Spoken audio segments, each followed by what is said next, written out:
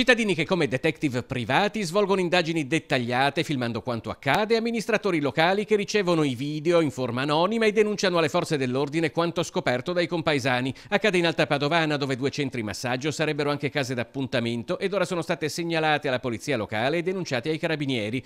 Tutto è partito da una busta trovata a Cittadella sul tergicristallo della sua macchina dal consigliere provinciale Luigi Sabatino. Dentro una lettera di poche righe. Affidiamo a te questi video perché nessuno ci ascolta. E una chiavetta che conteneva due filmati dal contenuto inequivocabile, secondo le didascalie, girati in due centromassaggi orientali. Sabatino ha subito avvisato Fabio Miotti, assessore al commercio di San Giorgio in Bosco. Proprio a San Giorgio sarebbe stato girato il primo video che porta la data del 20 novembre. Le immagini di una telecamera nascosta che rimane sempre accesa sono inevitabilmente un po' scure, ma i dialoghi, chi ha realizzato il video ha aggiunto anche i sottotitoli, sono chiari. Il secondo video è datato 22 novembre, il copione è sostanzialmente lo stesso. Sabatino e Miotti, dopo aver avvisato il comandante comandante del distretto di polizia locale hanno sporto denuncia ai carabinieri. Speriamo che questo episodio si tramuti in un messaggio chiaro, hanno detto, l'illegalità qui non è ben accetta.